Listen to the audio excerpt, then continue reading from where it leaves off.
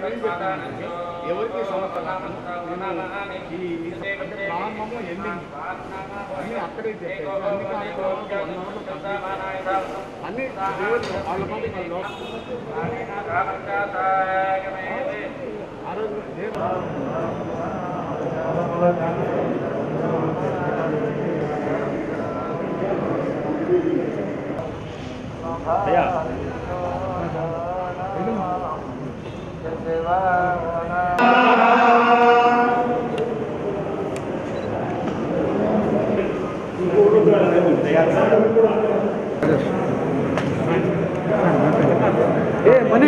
మనకు నవంబర్ పదకొండవ తేదీ నుంచి ప్రారంభం కానున్న పద్మావతి అమ్మగారి బ్రహ్మోత్సవాల గురించి పెద్దజయం గారి స్వామివారితో మరి వారి యొక్క సూచనలు వారి సలహాలు తీసుకోవడం జరిగింది. ముఖ్యంగా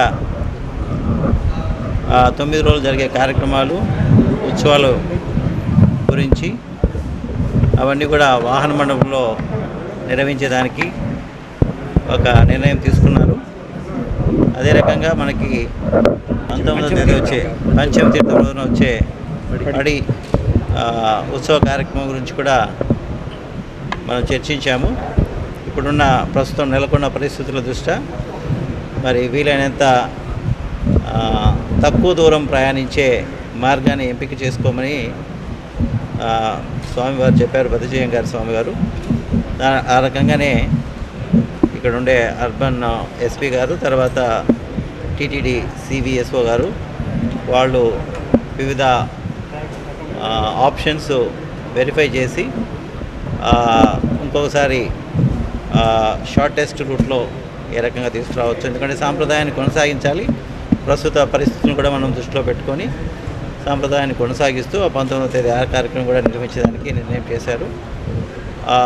ఆ రూటు త్వరలోనే ఫైనలైజ్ చేసి స్వామి గారి యొక్క అనుమతి తీసుకొని మరి కార్యక్రమాలు మనం పదకొండవ తేదీ నుంచి అమ్మవారి బ్రహ్మోత్సవాల్ని నిర్వహించుకుంటాం. అలాగే ఉన్నాయి.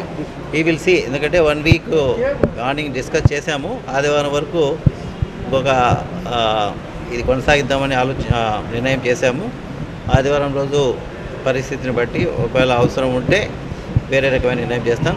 ఆదివారం వరకు మాత్రం కొనసాగుతాం. అది ఆదివారం రోజు నిర్ణయం చేస్తాం.